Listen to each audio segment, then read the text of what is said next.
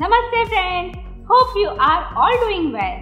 Today we are going to do a few simple asanas for fibroid in the uterus and then talk about some lesson tips for the same. We will be performing these asanas against the wall. So do make sure that you keep your yoga mat beside it. Also, it is recommended that you perform each of these asanas 3 times unless specified otherwise. So let's start. Okay, so now first exercise is leg stretch with Viprit Karni. So in Viprit Karni, how to we have to lie down? First hips and walls touching the each other. After that, with your hand, exercise and slowly raise your leg like this with breathing. Okay? Okay, and make sure that your hips and touch with each other. Yeah? Wow, it's really nice. Now, first exercise is leg stretch. So, in this exercise, we have to tighten your, our thigh muscles, the knees, and the ankles outwards like this with breathing. Stay there. Stretch your hands like this on your shoulder level and stay there. And then slowly relax yourself with breath out. Now toes inward with breathing.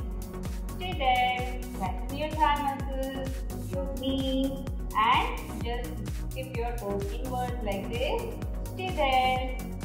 And then slowly relax yourself with breath out and relax and relax. Next is Baddhakonasana means butterfly exercise. In this exercise, first we have to hold our left and then right like this. Okay? And toes touching with each other and then slowly press the knees with breathing. Like this. Slowly press it as much as you can and then slowly relax yourself with breathe out. Knees together. One more time. Just press it with breathing. Stay there. After four counts, you can do normal breathing. One, two, three, four. We'll count till six, five, six, and then slowly relax yourself. With breathe out and relax. Wake up and relax. Okay, so now next is hands and legs in Sukhasana. So first tie your legs like this and hands like this. Okay, so elbow, two fingers touch and then slowly stay there. Stretch your abdominal muscles with breath in. Stay there and then slowly relax yourself with breath out. Now slowly breathe in, hold, stretch, stretch your abdominal muscles, your chest muscles and stay there and then slowly relax with breath out. Last time. Stay there with breathing. Feel the stretch and then slowly relax yourself with breath out. You can do this exercise till 2 to 3 minutes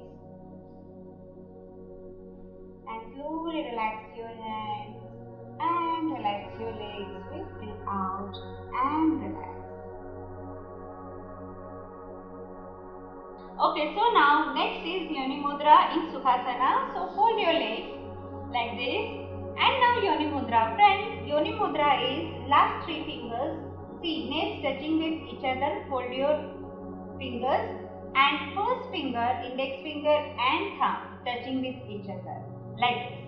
Okay, it is called Yoni Mudra like this. Now keep your hands center of the navel Cover your navel, close your eyes, relax your elbow on the floor. Breathe in and then slowly relax with breathe out. Breathe in. Press the fingers, press your hands, gently press it and slowly relax yourself with breathe out. Shoulder touching the floor. Relax your neck muscles with breathing and slowly relax with breathe out. Last time, breathe in, feel relaxed, breathe out, feel relax. and relax. Relax your hands in the Mudra on the thighs, breathing two times.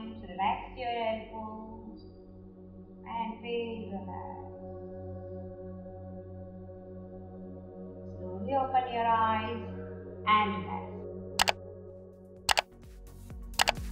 Now next is Supine Vrikshasana. In this exercise, first we have to keep our legs, both the legs straight. Now fold your left leg, right toe outwards, left leg, when you fold, press time, left foot touching your inner thigh of your right leg, okay, like this. Now, stretch your hands, bicep touching the ear, fingers together with breathing. Stay there, one, till four counts, two, three, four, and then slowly relax your hand and relax your leg with breath out. Gently try, hold it, and now stretch your hand with breathing.